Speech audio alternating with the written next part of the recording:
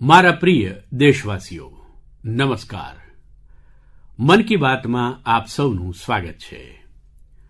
જો તમે મને પૂછો કે મારા જીવનની સૌથી યાદગાર પળો કઈ કઈ રહી, તો અનેક ઘટના યાદ આવે છે.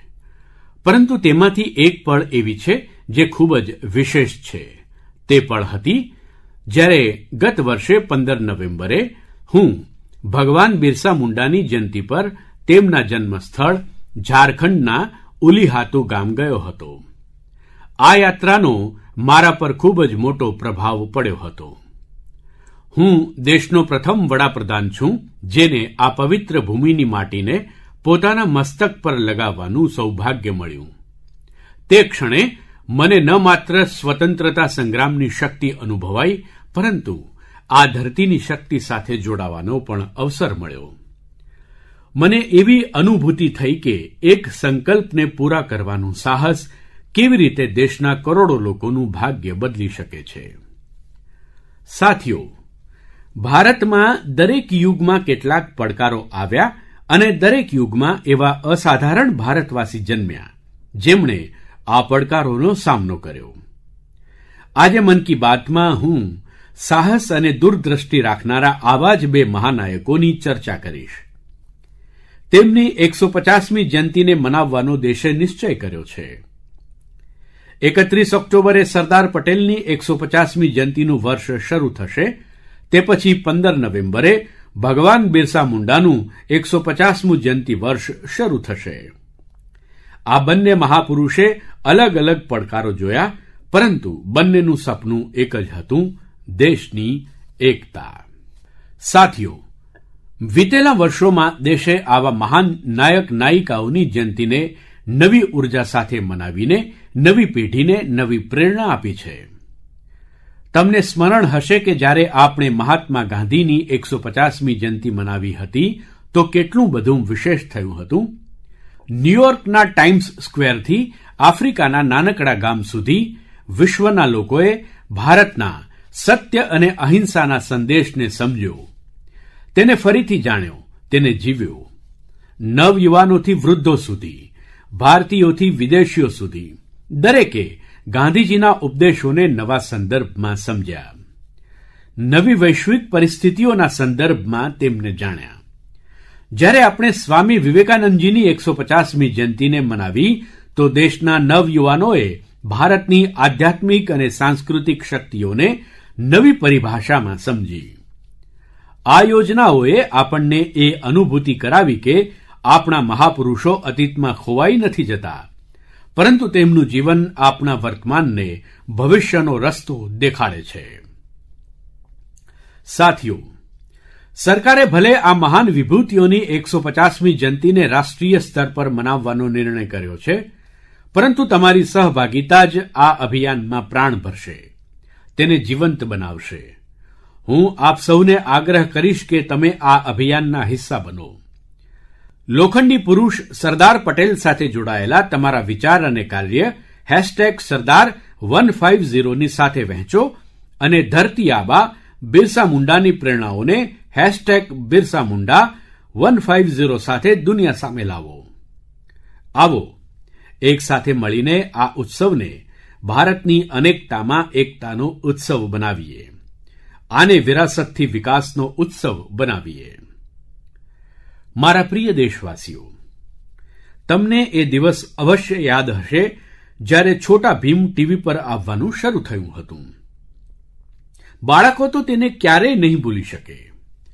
કેટલો રોમાંચ હતો છોટા ભીમ અંગે. તમને આશ્ચર્ય થશે કે આજે ઢોલકપુર કા ઢોલ માત્ર ભારતમાં જ નહીં, પરંતુ બીજા દેશના બાળકોને પણ ઘણું આકર્ષે છે.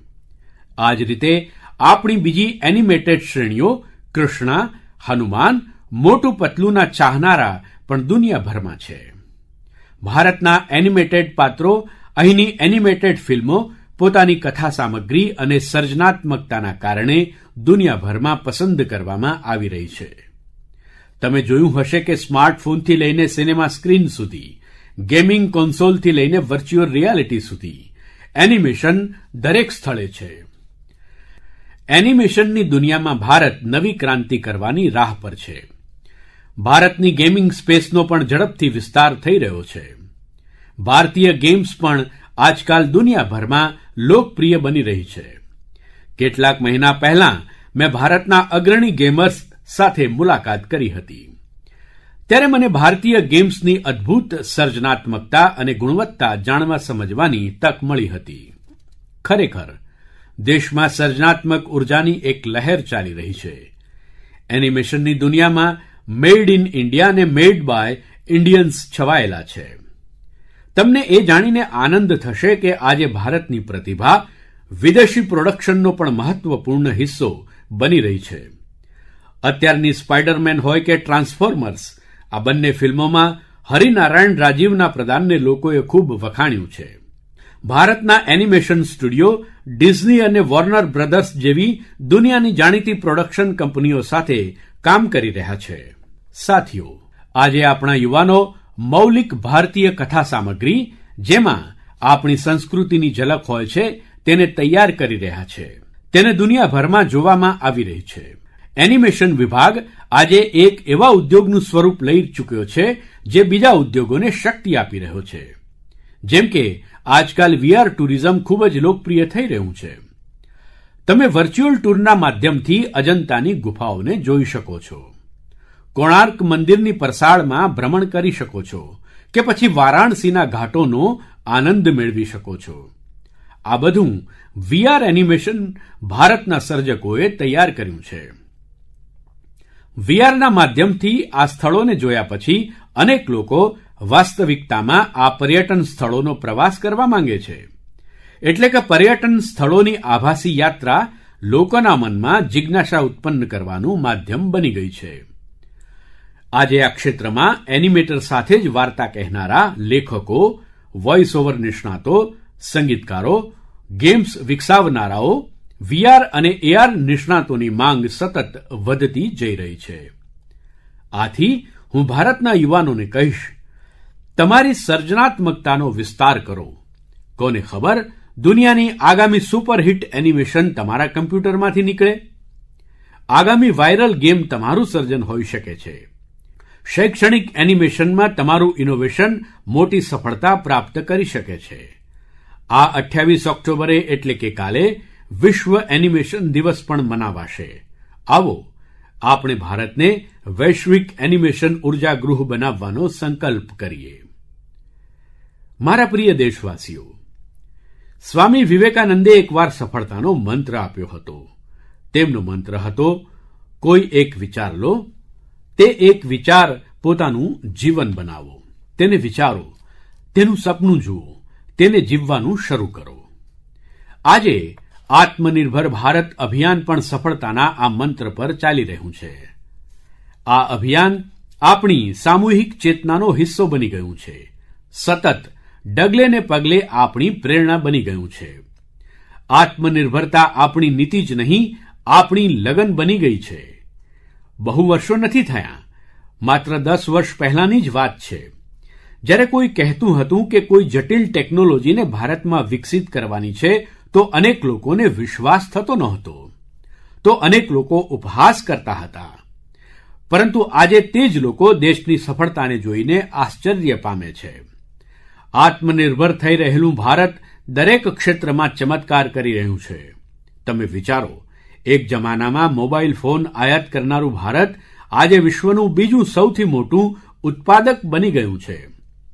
ક્યારેક દુનિયામાં સૌથી વધુ સંરક્ષણ સાધનો ખરીદનારું ભારત આજે પંચ્યાશી દેશોમાં નિકાસ પણ કરી રહ્યું છે. અંતરિક્ષ ટેકનોલોજીમાં ભારત આજે ચંદ્રમાના દક્ષિણ ધ્રુવ પર પહોંચનારો પહેલો દેશ બની ગયો છે. અને એક વાત તો મને સૌથી વધુ સારી લાગે છે. તે એ કે આત્મનિર્ભરતાનું આ અભિયાન હવે માત્ર સરકારી અભિયાન નથી. હવે આત્મનિર્ભર ભારત અભિયાન એક જન અભિયાન બની રહ્યું છે. દરેક ક્ષેત્રમાં ઉપલબ્ધિઓ પ્રાપ્ત કરી રહ્યા છીએ. જેમ કે આ મહિને લદ્દાખના હાનલેમાં આપણે એશિયાની સૌથી મોટી ઇમેજિંગ ટેલિસ્કોપ મેસનું પણ ઉદ્ઘાટન કર્યું છે. તે ચાર હજાર ત્રણસો મીટરની ઊંચાઈ પર સ્થિત છે. જાણો છો, તેની પણ વિશેષ વાત શું છે? તે મેડ ઇન ઇન્ડિયા છે. વિચારો, જે સ્થાન પર માઇનસ ત્રીસ ડિગ્રી ઠંડી પડી હોય, જ્યાં ઓક્સિજનનો પણ અભાવ હોય, ત્યાં આપણા વૈજ્ઞાનિકો અને સ્થાનિક ઉદ્યોગોએ તે કરીને દેખાડ્યું છે, જે એશિયાના કોઈ દેશે નથી કર્યું. હાનલેનું ટેલિસ્કોપ ભલે દૂરની દુનિયા દેખી રહ્યું હોય પરંતુ તે આપણને એક બીજી વસ્તુ પણ દેખાડી રહ્યું છે, અને તે વસ્તુ છે આત્મનિર્ભર ભારતનું સામર્થ્ય. સાથીઓ, હું ઈચ્છું છું કે તમે પણ એક કામ અવશ્ય કરો. આત્મનિર્ભર થતા ભારતના વધુમાં વધુ ઉદાહરણ આવા પ્રયાસોને શેર કરો. તમે તમારા પડોશમાં કયું નવું ઇનોવેશન જોયું? કયા સ્થાનિક સ્ટાર્ટઅપે તમને સૌથી વધુ પ્રભાવિત કર્યા? તે હૅશટૅગ આત્મનિર્ભર ઇનોવેશન સાથે સોશિયલ મીડિયા પર જાણકારીઓ સાથે લખો અને આત્મનિર્ભર ભારતનો ઉત્સવ મનાવો. તહેવારોની આ ઋતુમાં તો આપણે બધા આત્મનિર્ભર ભારતના આ અભિયાનને વધુ મજબૂત કરીએ છીએ. આપણે વોકલ ફોર લોકલના મંત્ર સાથે આપણી ખરીદી કરીએ છીએ. આ નવું ભારત જ્યાં અસંભવ માત્ર એક પડકાર છે, જ્યાં મેક ઇન ઇન્ડિયા હવે મેક ફોર વર્લ્ડ બની ગયું છે. જ્યાં દરેક નાગરિક એક ઇનોવેટર છે જ્યાં દરેક પડકાર એક તક છે. આપણે ન માત્ર ભારતને આત્મનિર્ભર બનાવવાનું છે પરંતુ આપણા દેશને ઇનોવેશનના ગ્લોબલ પાવર હાઉસના રૂપમાં મજબૂત પણ કરવાનો છે. મારા પ્રિય દેશવાસીઓ હું તમને એક ઓડિયો સંભળાવું છું. હેલો સર નમસ્તે સર નમસ્તે સર બોલીએ સર देखिए जो आपने एफ़ आई आर नंबर मुझे सेंड किया है इस नंबर के खिलाफ सेवनटीन कंप्लेंट हमारे पास। आप ये नंबर यूज़ कर रहे हैं? मैंने नहीं यूज़ करता हूँ सर अभी कहाँ से बात कर रहे हो? सर कर्नाटका सर वो मैं घर में हूँ सर ओके इसके लिए आप अपनी स्टेट में रिकॉर्ड करवाइए ताकि ये नंबर ब्लॉक कर दिया जाए। फ्यूचर में आपको कोई प्रॉब्लम ना हो ओके यस सर अभी मैं आपको कनेक्ट कर रहा हूँ। ये आपका इन्वेस्टिगेशन ऑफिसर है। आप अपनी स्टेट में रिकॉर्ड करवाइए ताकि ये नंबर ब्लॉक कर दिया जाए okay yes sir yes sir अभी मुझे बताइएगा मैं किसके साथ बात कर रहा हूँ? अपना आधार कार्ड मुझे शो कीजिएगा वेरीफाई करने के लिए बताइएगा। सर अब मेरे पास अभी नहीं है sir Aadhaar card sir please sir phone आपके फ़ोन में है? नहीं सर फ़ोन में आधार कार्ड की पिक्चर नहीं है आपके पास? नहीं सर नंबर याद है आपको? सर नहीं है सर नंबर भी याद नहीं है सर हमने सिर्फ़ वेरीफाई करना है ओके वेरीफाई करने के लिए। नहीं सर आप डरिए ना डरिए ना। अगर आपने कुछ नहीं किया तो आप डरिए ना हाँ सर हाँ सर अगर आपके पास आधार कार्ड है तो मुझे दिखा दीजिए वेरीफाई करने के नहीं सर नहीं सर मैं ब- गांव को आया था सर घ- घर में है सर लिए। ओके कमिंग जय हिंद इस व्यक्ति के वन साइड वीडियो का रिकॉर्ड करो as per the protocol okay આ ઑડિયો માત્ર જાણકારી માટે નથી આ કોઈ મનોરંજનવાળો ઑડિયો નથી એક ગંભીર ચિંતાને લઈને ઓડિયો આવ્યો છે. તમે હમણાં જે વાતચીત સાંભળી, તે ડિજિટલ એરેસ્ટના છળની છે. આ વાતચીત એક પીડિત અને એક છેતરપિંડી કરનાર વચ્ચે થઈ છે. ડિજિટલ એરેસ્ટની છેતરપિંડીમાં ફોન કરનારા ક્યારેક પોલીસ, ક્યારેક સીબીઆઈ, ક્યારેક નાર્કોટિક્સ, ક્યારેક આરબીઆઈ આવા ભાંતિ ભાંતિના લેબલ લગાડીને બનાવટી અધિકારી બનીને વાત કરે છે. અને ખૂબ જ વિશ્વાસ સાથે વાત કરે છે. મને મન કી બાતના ઘણા બધા શ્રોતાઓએ કહ્યું કે તેની ચર્ચા અવશ્ય કરવી જોઈએ. આવો, હું તમને જણાવું છું કે આ છેતરપિંડી કરનારી ટોળી કેવી રીતે કામ કરે છે. આ ખતરનાક ખેલ શું છે? તમારે પણ સમજવું ખૂબ જ આવશ્યક છે. બીજાને પણ સમજાવવું એટલું જ આવશ્યક છે. પહેલો દાવ, તમારી વ્યક્તિગત જાણકારી. તેઓ બધું જાણીને રાખે છે. તમે ગયા મહિને ગોવા ગયા હતા ને? તમારી દીકરી દિલ્હીમાં ભણે છે ને? તેઓ તમારા વિશે એટલી બધી જાણકારી મેળવીને રાખે છે કે તમે આશ્ચર્યચકિત થઈ જાઓ. બીજો દાવ, ભયનું વાતાવરણ ઉત્પન્ન કરો. ગણવેશ, સરકારી કાર્યાલયનો સેટઅપ, કાયદાકીય કલમો, તેઓ તમને એટલા બધા બેવડાવી દેશે ફોન પર, વાત વાતમાં તમે વિચારી પણ નહીં શકો. અને પછી ત્રીજો દાવ શરૂ થાય છે. ત્રીજો દાવ સમયનું દબાણ. અત્યારે જ નિર્ણય કરવો પડશે. નહીંતર તમારી ધરપકડ કરવી પડશે. આ લોકો પીડિત પર એટલું મનોવૈજ્ઞાનિક દબાણ બનાવે છે કે તે સ્તબ્ધ થઈ જાય છે. ડિજિટલ એરેસ્ટના શિકાર થનારામાં દરેક વર્ગના, દરેક વયના લોકો છે. લોકોએ ડરના કારણે પોતાની મહેનતથી કમાયેલા લાખો રૂપિયા ગુમાવી દીધા છે. ક્યારે પણ તમને આ પ્રકારનો કોઈ કોલ આવે તો તમારે ડરવાનું નથી.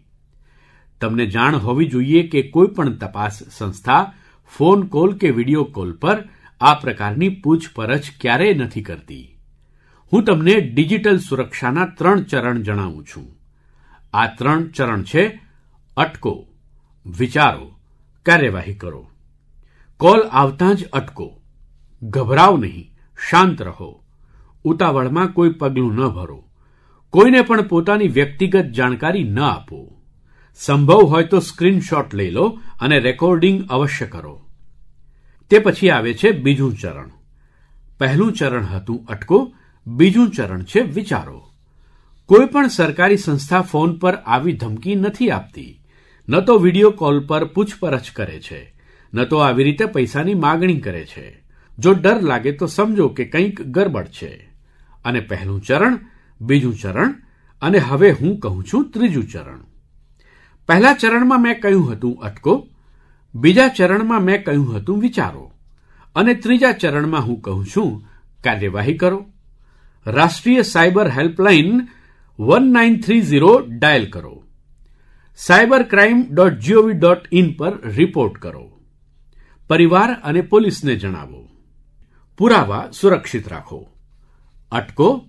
પછી વિચારો અને પછી કાર્યવાહી કરો. આ ત્રણ તમારી ડિજિટલ સુરક્ષાના રક્ષક બનશે. સાથીઓ, હું ફરી કહીશ કે ડિજિટલ એરેસ જેવી કોઈ વ્યવસ્થા કાયદામાં નથી. આ માત્ર એક છેતરપિંડી છે. છળ છે. જૂઠ છે. બદમાશોની ટોળી છે. અને જે લોકો આવું કરી રહ્યા છે, તેઓ સમાજના શત્રુ છે. ડિજિટલ એરેસ્ટના નામ પર જે છેતરપિંડી ચાલી રહી છે, તેની સામે તમામ તપાસ સંસ્થા રાજ્ય સરકારો સાથે મળીને કામ કરી રહી છે. આ સંસ્થાઓમાં તાલમેળ બનાવવા માટે નેશનલ સાયબર કોઓર્ડિનેશન સેન્ટરની સ્થાપના કરવામાં આવી છે. સંસ્થાઓ તરફથી આવી છેતરપિંડી કરનારા હજારો વિડિયો કોલિંગ આઈડીને બ્લોક કરવામાં આવ્યા છે. લાખો સિમ કાર્ડ મોબાઇલ ફોન અને બેંક ખાતાઓને પણ બ્લોક કરવામાં આવ્યા છે. સંસ્થાઓ પોતાનું કામ કરી રહી છે. પરંતુ ડિજિટલ એરેસ્ટના નામ પર થઈ રહેલા કૌભાંડથી બચવા માટે ખૂબ જ આવશ્યક છે દરેકની જાગૃતિ. દરેક નાગરિકની જાગૃતિ. જે લોકો પણ આ પ્રકારની સાયબર છેતરપિંડીનો શિકાર થાય છે, તેમણે વધુમાં વધુ લોકોને તેના વિશે જણાવવું જોઈએ. તમે જાગૃતિ માટે હેશટેગ સેફ ડિજિટલ ઇન્ડિયાનો પ્રયોગ કરી શકો છો. હું શાળાઓ અને કોલેજોને પણ કહીશ કે સાયબર કૌભાંડની વિરુદ્ધ અભિયાનમાં વિદ્યાર્થીઓને પણ જોડો. સમાજમાં બધાના પ્રયાસોથી જ આપણે આ પડકારનો સામનો કરી શકીશું. મારા પ્રિય દેશવાસીઓ, આપણા ઘણા બધા વિદ્યાર્થીઓ કેલિગ્રાફી એટલે કે સુલેખનમાં ઘણો રસ રાખે છે. તેના દ્વારા આપણા અક્ષરો સુંદર અને આકર્ષક બને છે. આજે જમ્મુ કાશ્મીરમાં તેનો ઉપયોગ સ્થાનિક સંસ્કૃતિને લોકપ્રિય બનાવવા માટે કરવામાં આવી રહ્યો છે. અહીંના અનંતનાગની ફિરદૌસા બશીરજીને કેલિગ્રાફીમાં નિપુણતા પ્રાપ્ત છે. તેના દ્વારા તેઓ સ્થાનિક સંસ્કૃતિના અનેક પાસાને સામે લાવી રહ્યા છે. ફિરદૌસાજીની કેલિગ્રાફીએ સ્થાનિક લોકો, વિશેષ કરીને યુવાનોને પોતાની તરફ આકર્ષિત કર્યા છે. આવો જ એક પ્રયાસ ઉધમપુરના ગોરીનાથજી કરી રહ્યા છે. એક સદીથી પણ વધુ જૂની સારંગી દ્વારા તેઓ ડોગરા સંસ્કૃતિ અને વારસાને વિભિન્ન રૂપમાં એકત્ર કરવામાં લાગેલા છે. સારંગીની ધૂનો સાથે તેઓ પોતાની સંસ્કૃતિ સાથે જોડાયેલી, પ્રાચીન વાર્તાઓ અને ઐતિહાસિક ઘટનાઓને રસપ્રદ રીતે કહે છે. દેશના અલગ અલગ હિસ્સાઓમાં પણ તમને આવા અનેક અસાધારણ લોકો મળી આવશે જે સાંસ્કૃતિક વારસાના સંરક્ષણ માટે આગળ આવ્યા છે. ડી વૈકુંઠમ લગભગ પચાસ વર્ષથી ચેરિયા લોકકળાને લોકપ્રિય બનાવવામાં લાગેલા છે. તેલંગાણા સાથે જોડાયેલી કળાને આગળ વધારવાનો તેમનો આ પ્રયાસ અદ્ભુત છે. ચેરિયાલ પેઇન્ટિંગને તૈયાર કરવાની પ્રક્રિયા ખૂબ જ અદ્વિતીય છે. તે એક સ્ક્રોલના સ્વરૂપમાં વાર્તાઓ મેલાવે છે. તેમાં આપણા ઇતિહાસ અને પ્રાચીન કથાઓની પૂરી ઝલક મળે છે. છત્તીસગઢમાં નારાયણપુરના બુટલુરામ માથરાજી અબુઝમાડિયા જનજાતિની લોકકળાને સંરક્ષિત કરવામાં લાગેલા છે. છેલ્લા ચાર દાયકાઓથી તેઓ પોતાના આ મિશનમાં લાગેલા છે. તેમની આ કળા, બેટી બચાઓ બેટી પઢાઓ અને સ્વચ્છ ભારત જેવા અભિયાનો સાથે લોકોને જોડવામાં ખૂબ જ અસરકારક રહી છે. સાથીઓ, અત્યારે આપણે વાત કરી રહ્યા હતા કાશ્મીરની ઘાટીઓથી લઈને છત્તીસગઢના જંગલો સુધી આપણી કળા અને સંસ્કૃતિ કેવી રીતે નવા નવા રંગો વિખેરી રહી છે. પરંતુ આ વાત અહીં સમાપ્ત નથી થતી. આપણી આ કળાની ફોરમ દૂર દૂર સુધી ફેલાઈ રહી છે. દુનિયાના અલગ અલગ દેશોમાં લોકો ભારતીય કળા અને સંસ્કૃતિથી મંત્રમુગ્ધ થઈ રહ્યા છે.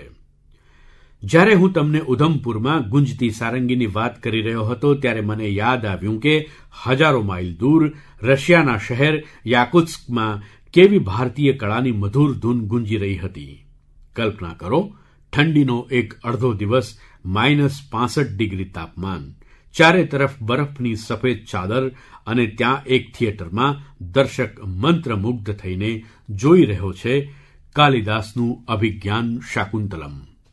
શું તમે વિચારી શકો છો, દુનિયાના સૌથી ઠંડા શહેર યાકુત્સ્કમાં ભારતીય સાહિત્યની ઉષ્ણતા? આ કલ્પના નથી, સત્ય છે. આપણને બધાને ગર્વ અને આનંદ આપનારું સત્ય. સાથીઓ, કેટલાક અઠવાડિયા પહેલાં હું લાઓસ પણ ગયો હતો. તે નવરાત્રિનો સમય હતો અને ત્યાં મેં કંઈક અદ્ભુત જોયું. સ્થાનિક કલાકારો ફલક ફલમ પ્રસ્તુત કરી રહ્યા હતા. લાઓસની રામાયણ. તેમની આંખોમાં એ જ ભક્તિ. તેમના સ્વરમાં એ જ સમર્પણ હતું જે રામાયણ પ્રત્યે આપણા મનમાં છે. આ જ રીતે કુવૈતમાં શ્રી અબ્દુલ્લા અલ બારૂને રામાયણ અને મહાભારતનો અરબીમાં અનુવાદ કર્યો છે. આ કાર્ય માત્ર અનુવાદ નથી પરંતુ બે મહાન સંસ્કૃતિઓની વચ્ચે એક સેતુ છે. તેમનો આ પ્રયાસ અરબ જગતમાં ભારતીય સાહિત્ય પ્રત્યેની નવી સમજને વિકસિત કરી રહ્યો છે. પેરુથી એક બીજું પ્રેરક ઉદાહરણ છે એર્લિન્દા ગાર્સિયા. તેઓ ત્યાંના યુવાઓને ભરતનાટ્યમ શીખવાડી રહ્યા છે અને મારિયા વાલ્દેસ ઓડિસી નૃત્યનું પ્રશિક્ષણ આપી રહ્યા છે. આ કળાઓથી પ્રભાવિત થઈને દક્ષિણ અમેરિકાના અનેક દેશોમાં ભારતીય શાસ્ત્રીય નૃત્યોની ધૂમ મચેલી છે. સાથીઓ, વિદેશી ધરતી પર ભારતના આ ઉદાહરણો દર્શાવે છે કે ભારતીય સંસ્કૃતિની શક્તિ કેટલી અદ્ભુત છે. તે સતત વિશ્વને પોતાની તરફ આકર્ષિત કરી રહી છે. જ્યાં જ્યાં છે કળા, ત્યાં ત્યાં છે ભારત. જ્યાં જ્યાં છે સંસ્કૃતિ, ત્યાં ત્યાં છે ભારત. આજે દુનિયાભરના લોકો ભારતને જાણવા માંગે છે. ભારતના લોકોને જાણવા માગે છે. આથી તમને બધાને એક અનુરોધ પણ છે. તમારી આસપાસ આવી સાંસ્કૃતિક પહેલને હેશટેગ કલ્ચરલ બ્રિજીસની સાથે વહેંચો. મન કી બાતમાં આપણે આવા ઉદાહરણો પર આગળ પણ ચર્ચા કરીશું. મારા પ્રિય દેશવાસીઓ, દેશના મોટા હિસ્સામાં ઠંડીની ઋતુ ચાલુ થઈ ગઈ છે. પરંતુ ફિટનેસનું પેશન ફિટ ઇન્ડિયાની સ્પિરિટ તેને કોઈ પણ ઋતુથી કોઈ ફરક નથી પડતો. જેને ફિટ રહેવાની ટેવ હોય છે, તે ઠંડી, ગરમી અને વરસાદ કંઈ નથી જોતા. મને આનંદ છે કે ભારતમાં હવે લોકો ફિટનેસ માટે ઘણા જાગૃત થઈ રહ્યા છે. તમે પણ જોઈ રહ્યા હશો કે તમારી આસપાસના બગીચાઓમાં લોકોની સંખ્યા વધી રહી હશે. બગીચાઓમાં ફરતા વૃદ્ધો, નવયુવાનો અને યોગ કરતા પરિવારોને જોઈને મને સારું લાગે છે, મને યાદ છે. જ્યારે હું યોગ દિવસ પર શ્રીનગર હતો વરસાદ છતાં અનેક લોકો યોગ માટે એકત્ર થયા હતા. હમણાં કેટલાક દિવસ પહેલાં શ્રીનગરમાં જે મેરેથોન થઈ તેમાં પણ મને ફિટ રહેવાનો આજ ઉત્સાહ દેખાયો. ફિટ ઇન્ડિયાની આ ભાવના હવે એક લોક ચળવળ બની રહી છે. સાથીઓ, મને એ જોઈને સારું લાગે છે કે આપણી શાળાઓ બાળકોની ફિટનેસ પર હવે વધુ ધ્યાન આપી રહી છે. ફિટ ઇન્ડિયા સ્કૂલ અવર્સ પણ એક અનોખી પહેલ છે. શાળા પોતાના પહેલા પિરિયડનો ઉપયોગ અલગ અલગ ફિટનેસ પ્રવૃત્તિ માટે કરી રહી છે. અને સ્કૂલોમાં કોઈ દિવસ બાળકો યોગ કરાવાય છે, તો કોઈ દિવસ એરોબિક્સના સત્રો હોય છે. કોઈ એક દિવસ સ્પોર્ટ્સ સ્કિલ પર કામ કરવામાં આવે છે. કોઈ દિવસ ખોખો અને કબડ્ડી જેવી પારંપરિક રમતો રમાડાય છે અને તેની અસર પણ ખૂબ સારી છે. હાજરી વધી રહી છે. બાળકોની એકાગ્રતા વધી રહી છે અને બાળકોને મજા પણ આવે છે. સાથીઓ, હું સારા સ્વાસ્થ્યની આ ઊર્જા દરેક જગ્યાએ જોઈ રહ્યો છું. મન કી બાતમાં પણ ઘણા બધા શ્રોતાઓએ મને પોતાનો અનુભવ મોકલ્યો છે. કેટલાક લોકો તો ખૂબ જ રોચક પ્રયોગ કરી રહ્યા છે. જેમ કે એક ઉદાહરણ છે ફેમિલી ફિટનેસ અવરનું એટલે કે એક પરિવાર પ્રત્યેક શનિ રવિ એક કલાક ફેમિલી ફિટનેસ એક્ટિવિટી માટે આપી રહ્યો છે. એક બીજું ઉદાહરણ સ્વદેશી રમતોને પુનર્જીવિત કરવાનું છે. એટલે કે કેટલાક પરિવારો પોતાના બાળકોને પરંપરાગત રમતો શીખવાડી રહ્યા છે, રમાડી રહ્યા છે. તમે પણ પોતાના ફિટનેસ રૂટિનનો અનુભવ હેશટેગ ફિટ ઇન્ડિયાના નામે સોશિયલ મીડિયા પર અવશ્ય જણાવો. હું દેશના લોકોને એક આવશ્યક જાણકારી પણ આપવા માગું છું. આ વખતે 31 ઓક્ટોબરે સરદાર પટેલની જયંતીની સાથે દિવાળીનું પર્વ પણ છે. આપણે પ્રત્યેક વર્ષે 31 ઓક્ટોબરે રાષ્ટ્રીય એકતા દિવસ પર રન ફોર યુનિટીનું આયોજન કરીએ છીએ. દિવાળીના કારણે આ વખતે 29 ઓક્ટોબરે, એટલે કે મંગળવારે, રન ફોર યુનિટીનું આયોજન કરવામાં આવશે. મારો આગ્રહ છે કે વધુમાં વધુ સંખ્યામાં તેમાં ભાગ લો. દેશની એકતાના મંત્ર સાથે જ ફિટનેસના મંત્રને પણ બધી તરફ ફેલાવો.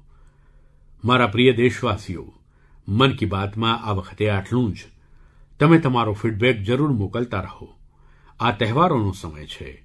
મન કી બાતના શ્રોતાઓને ધનતેરસ, દિવાળી, છઠ પૂજા, ગુરુ નાનક જયંતી અને બધા પર્વોની ખૂબ ખૂબ શુભકામનાઓ. તમે બધા પૂરા ઉત્સાહ સાથે તહેવાર મનાવો. વોકલ ફોર લોકલનો મંત્ર યાદ રાખો. પ્રયાસ કરો કે તહેવારો દરમિયાન તમારા ઘરમાં સ્થાનિક દુકાનદારો પાસેથી ખરીદાયેલો સામાન અવશ્ય આવે. એકવાર ફરી તમને બધાને આવનારા પર્વોના ઘણા ઘણા વધામણા. ધન્યવાદ.